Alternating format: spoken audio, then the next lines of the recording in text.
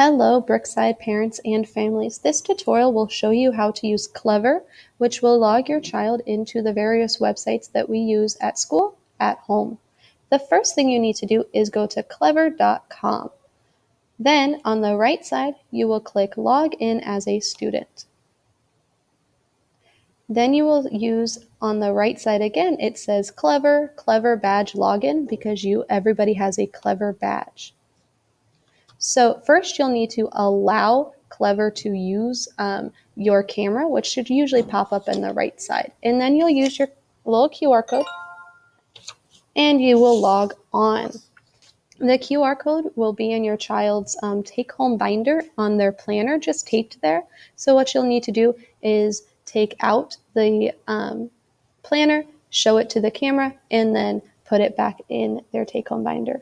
Here we have three different websites that we use here at school. The first one is Lexia, which um, your child probably used in kindergarten. It's our phonics program. We have Extra Math, which is how we practice our math facts. And then we have Zearn, which is um, the a math um, game website that kind of teaches your child math um, along with our math program. They go hand in hand. So the first thing we're going to do is we're going to click on Lexia, and it will log you in. Clever is logging you in. I already opened it up earlier, and so I'll just click on that one. It should load and then pop right up to this screen. Um, this is what Lexia looks like. If you haven't seen it, it says how many minutes that they are supposed to practice and then how many units they have completed this week. Um, we haven't started Lexia yet, so your child probably has no units. They might, um, who knows. Um, then you'll click continue and it will um, take them on a journey and they should be able to do Lexia all by themselves. The second option is extra math. And extra math is a little bit different because extra math does not um, sync with Clever. And so actually what it gives you is just their login.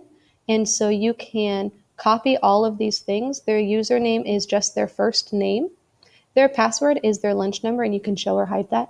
And then the user email is my email address, or if you have signed up, you um, can put in your email address and it should pop up as that. So you'll click go to extra math and then you will have to type all of this in. So you would type in your child's teacher's email address, their first name, and then um, their lunch pin, and then press sign in, and they can practice their math facts. That's something else that they will do by themselves without any help.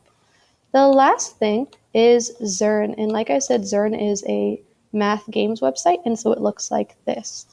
Um, if you have any questions or concerns, please let your child's teacher know. This um, is how we're also using to log in at school, and so your child should be well versed. Thank you. Have a great night.